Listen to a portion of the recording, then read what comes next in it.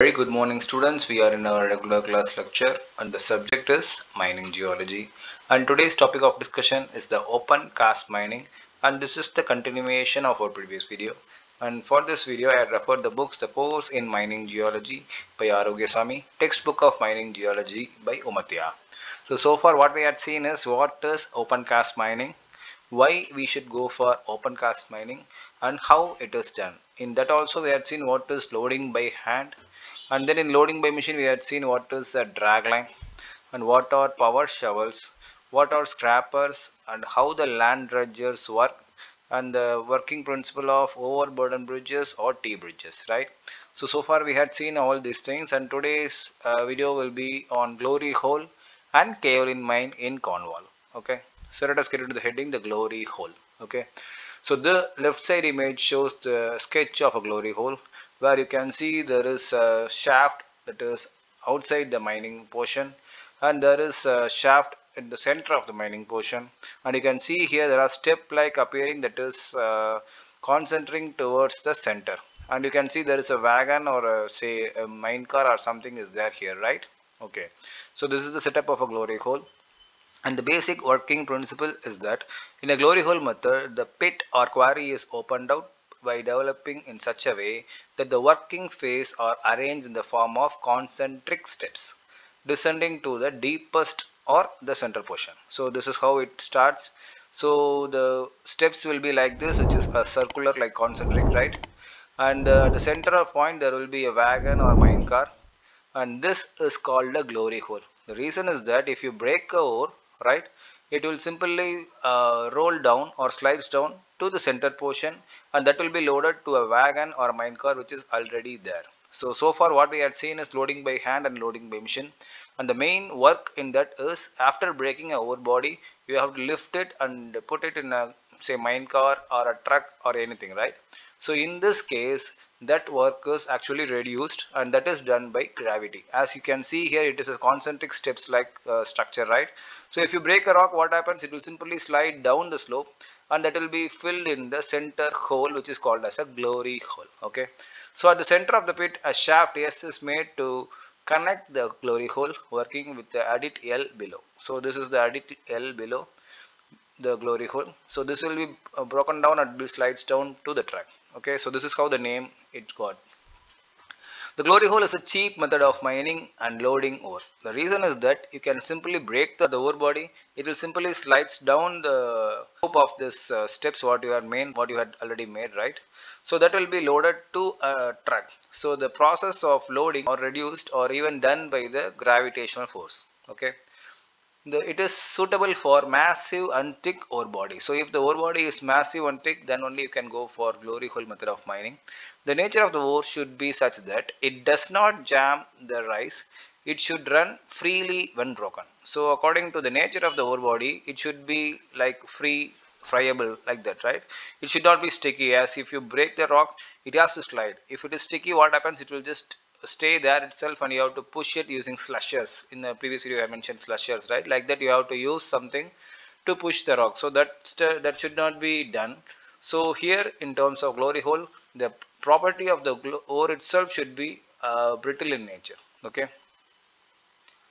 The ore should be preferably slide down in the broken condition on a moderate slope. So when you break a rock say the ore body here according to the slope it should be sliding down so that is what uh, main property that is required so that you can go for glory hole method of mining.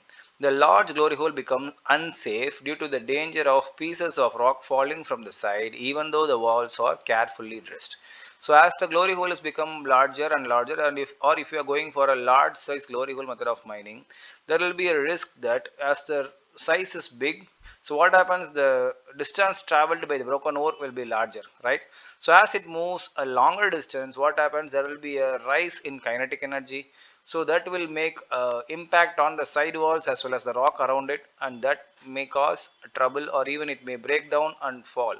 So that is a risk in terms of a large size glory hole okay? So it should be uh, care should be taken while going for a large size glory hole method of mining and adverse weather condition is serious affect the glory hole mining. So the weather condition is also controlling the weather of mining as you can see. If the rainfall is taking place or if it is a cyclone or whatever it is, if the weather condition is very uh, say adverse, what, what happens the rainwater will run here and that will soak the ore body here and that will change the property of the ore or the rock here and what happens it may uh, clog in this shaft and the uh, what do you call the dropping of this uh, ore into the bin maybe have some difficulties right? And even the freezing is also have a disadvantage in terms of glory hole. So this is a generalized sketch and this is a generalized outline about the glory hole. And here is a video which I got in the YouTube. So you can see here. And this is a historical glory hole gold mine and this has been captured by drone flight into the mine and this is done by a youtuber called uh, youtuber channel name called rocky mountain flyers okay? So this video is somewhat near six minutes. I had cut some 30 to 20 seconds in there. If you want you can check this in the youtube uh, by typing the same heading there. And you can watch the complete video so you will get a generalized idea how it is. So this is the shaft number one. So just like this here. And this is the portion which has been mined and removed so this is the remaining uh, uh, mining portion which was abandoned uh, probably a long back. So this is a field view. Okay, so you can see the size, the area cover of this glory hole. Okay. The second one is the kaolin mining in Cornwall. Okay, so this is a special mining method that was uh, followed only in Cornwall at the first stage. Uh, this is done in terms of say this is a special method of uh, open cast mining and hydraulicking okay? So when we are discussing about alluvial mining we are discussed about the hydraulicking where the high uh, velocity water or giant pumps were used for removing the pre-deposited alluvial sediments right?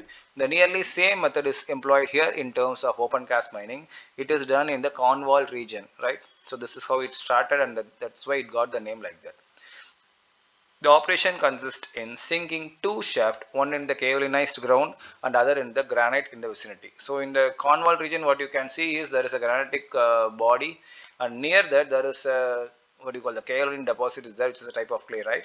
And there are the, you have to do two different shafts in both the soft rock as well as in the granitic rock.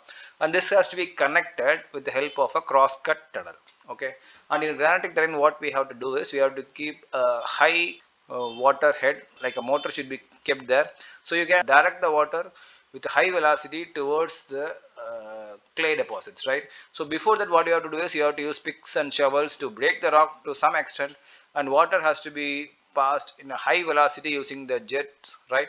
And what happens this water will dissolve the clay and brings down the clay from that region okay? So after the what happens this water carrying the sediments is passed through a sluice box which is called a sandbox okay? So this work the main work of the sandbox is to remove the coarse or sand sized particles from from the running water.